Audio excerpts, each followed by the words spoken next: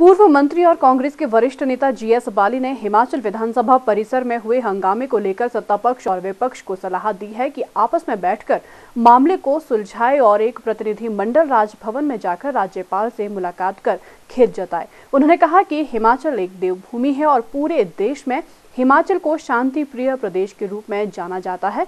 राज्यपाल एक संवैधानिक पद पर है और हमारा कर्तव्य है कि उनके सम्मान में कोई कमी ना हो और ठेस ना पहुँचे।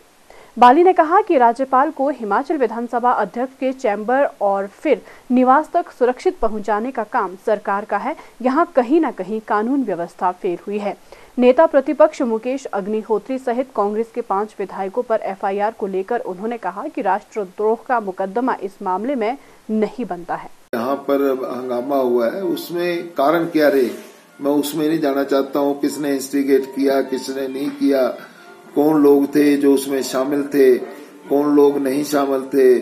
किसने किसको धक्का मारा, किसने नहीं मारा? मैं इसमें नहीं जाना चाहता हूँ। मगर हम लोग देवभूमि में रहते हैं। हमारी एक रेपुटेशन पूरे हिंदुस्तान में कि हम शांति प्रिय लोग हैं। और जहाँ तक राज्यपाल महामहिम की बात है, राज्यपाल साहब का कॉन्स्टिट्यूशनल पोजीशन है उनको उनके सम्मान में कोई कमी ना हो, उनको कोई ठेस ना पहुँचे। इसलिए कांग्रेस पार्टी की तरफ़ से भी हम लोग भी, जो भी हुआ है, इसको खेद प्रकट करते हैं और ये जो सरकार है, इसको भी खेद प्रकट करना चाहिए, क्योंकि राज्यपाल साहब को अंदर ले जाना,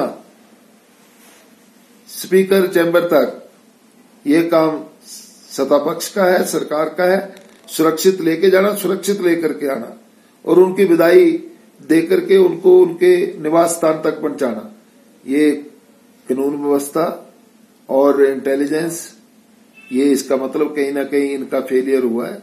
और क्या हुआ, कौन लोग उसमें शामिल थे? मगर एक बात मुझे समझ नहीं आती कि राष्ट्रद्रोह का मुकदमा नहीं बनता है। जो दफे लगाए गए हैं वो पता नहीं जो भी अपनी आवाज़ निकालता है, उसको आप ऐसा दफ़ा लगा देते हो कि या तो आप चुप रहे, अगर बोले तो आप राष्ट्रद्रोही हैं। ये बात ठीक नहीं है और तुरंत माननीय मुख्यमंत्री जो है, उनको इंटरवीन करना चाहिए स्पीकर को करना चाहिए और ये बैठ करके सत्ता पक्ष और विपक्ष के बीच में बातचीत करें और दोनों पार्टियाँ जाकर के खेद प्रकट करें।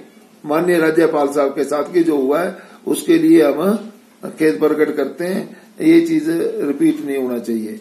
तो मेरा मानना यह है कि दोनों को इकट्ठे होकर के आपस में पहले सहमति बनाएँ और फिर राज्यपाल साहब के पास जाएँ, एक डेपुटेशन में और उनके साथ जाकर के अपनी बातचीत को उनके खेत प्रकट करके वो उनको तसल्ली दिलाएँ कि वे यहाँ पे ये कैसे एकदम हो गया या बाई चांस हो गया।